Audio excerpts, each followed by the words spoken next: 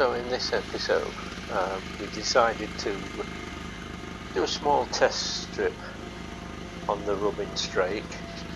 I started out at 240 grit. Fortunately, that was a bit too fine, and uh, took quite a bit of time just to do three or four inches. So I changed after that to uh, 80 grit, and that did the job.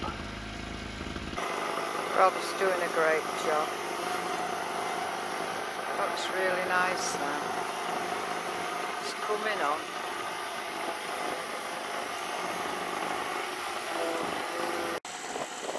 Rob's still at it. Nearly to end now. Very, very windy. So, looking good though. He's done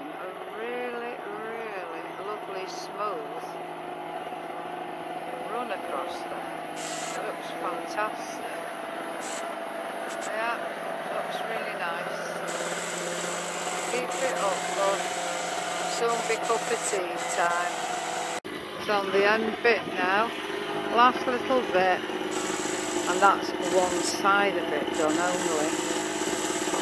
Oh, just a few white clouds are coming, but it's uh, very windy still, but it's quite hot. Back end of boat now.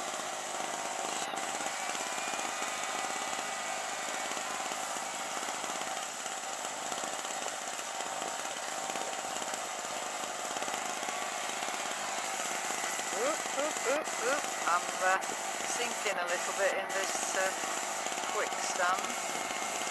Well, I wouldn't call it quicksand, but doing a great job.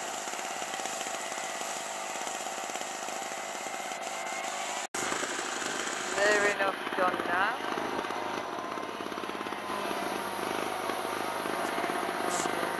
Great job.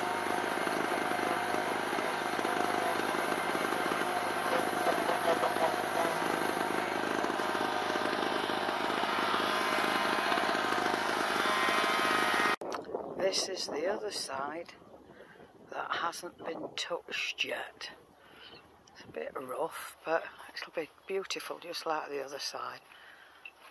What a difference it makes doing that little bit like that.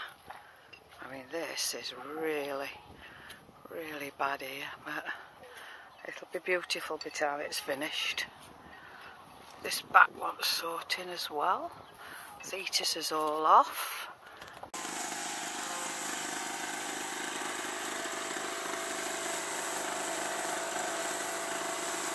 Back round to other side now to start with.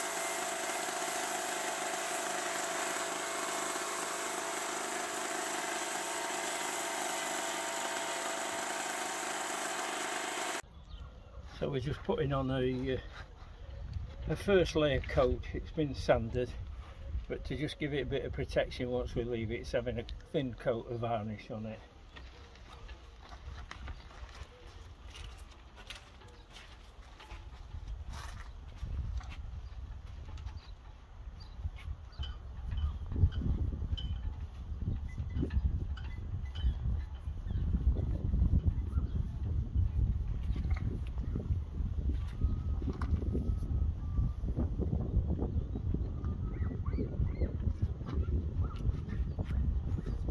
thing about putting the varnish is starts to bring out the grain of the wood and in this case it's a teak rubbing rail.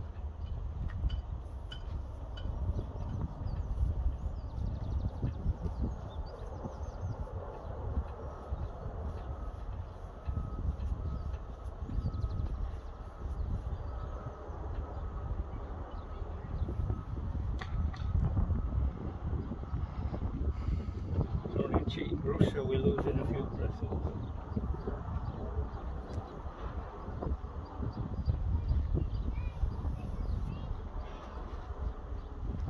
There we go, what's that looking like now? That look Yeah, it's good, beautiful, yeah. Yeah. You've done a really good job.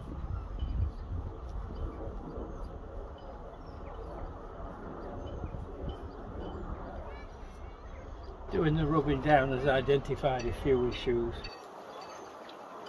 Got uh, got one just here which I've got to uh, sort out and uh, I think what we'll do with that we'll use the West epoxy again. And uh,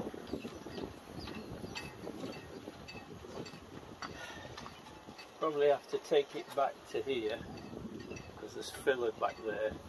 I'll do the screw, pull it back apply the epoxy and push it back together again. Try to form some sort of clamp arrangement to hold it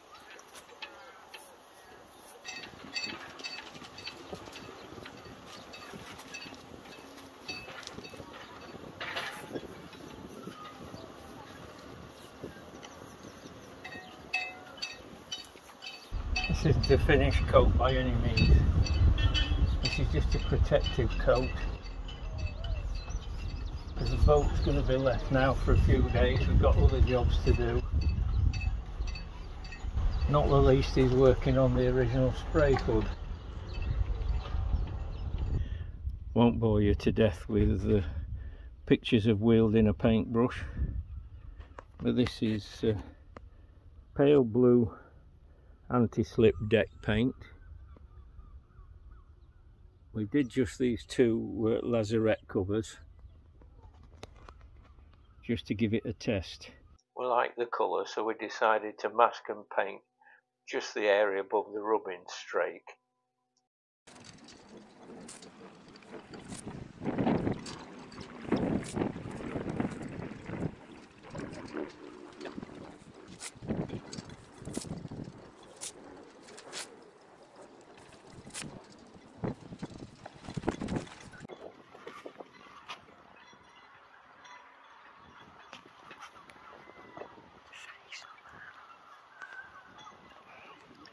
Are just starting to uh, get first coated topside paint along the sides. We want to see what it's going to look like. We want to brighten it up at the same time. Unfortunately, it's an extremely windy day today.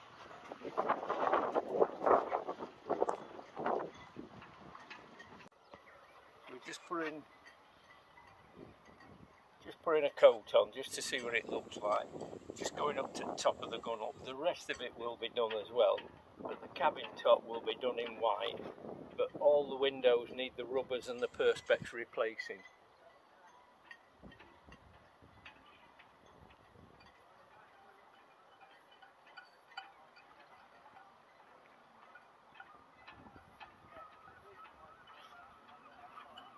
Well, this was sold as non non-slip paint supposed to have the sand particles in it but I believe it's just gloss. But it doesn't matter because it's going on non-slip paint.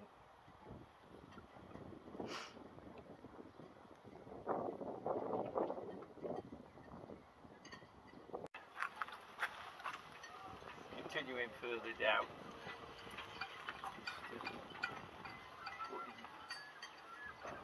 Coat on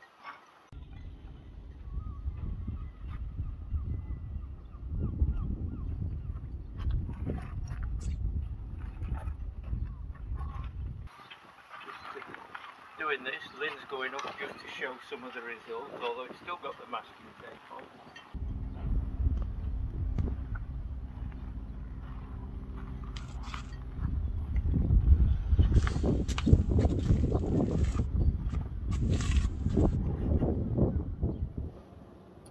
We're going to try for the grand reveal. It'll either be brilliant or a mess.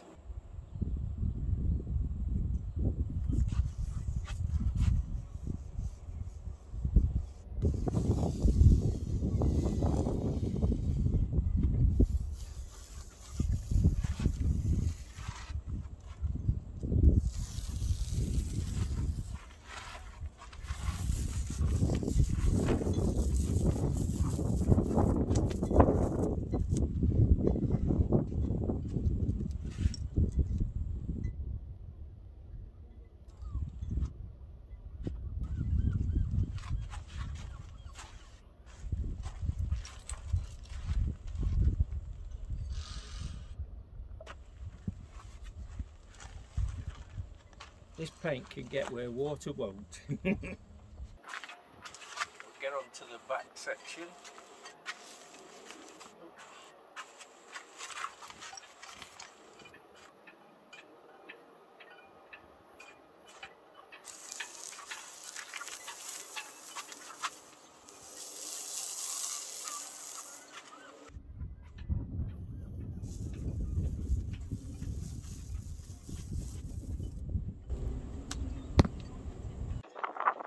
In painting the decks.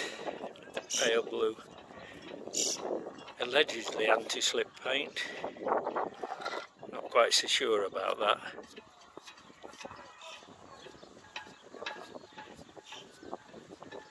Brighten the whole front of the deck up